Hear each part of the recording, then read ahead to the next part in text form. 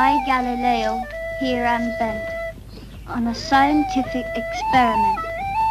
All men do bicker about which falls quicker. A pound of feathers or a pound of lead. Look out below there, mind your head.